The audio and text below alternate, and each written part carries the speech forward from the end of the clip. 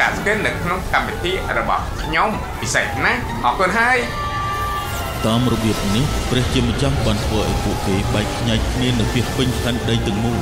ហើយគេក៏ឈប់សង្គ្រោះនោះទៀតហើយនេះហើយបានជាគេដាក់ឈ្មោះក្រុងនោះថាបាបៀលបាត់នៅទីនោះហើយដែលព្រះអង្គម្ចាស់បានបំបែកភាសារបស់មនុស្សលោកទាំងមូលអូវ៉ាវនោះពិតជាខ្ញុំសឹងតែមិនជឿលើអ្វីដែលខ្ញុំបានឃើញឡើយ មែនហើយចុះហេតុអីបានជាព្រះជាម្ចាស់បង្កើតភាសាមិនឲ្យមនុស្សនិយាយយល់គ្នាអញ្ចឹងគេកំពុងតែសង់ប្រាសាទមួយដើម្បីលើកដំកើងខ្លួនឯងដូច្នេះបើគេអាចធ្វើរឿងនេះបានវាគ្មានអ្វីផ្សេងទៀតដែលគេមិនអាចធ្វើបានដើម្បីបញ្ជាក់ពីភាពអស្ចារ្យរបស់គេ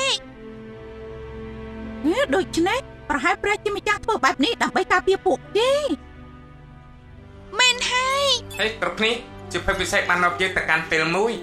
ចុះឥឡូវយើងនៅឯណានឹងមើលទៅយើងដូចជានៅទីក្រុងយេរូសាឡឹមចាំពេល50ថ្ងៃនៃការរត់ឡើងវិញរបស់ព្រះយេស៊ូវអីគេ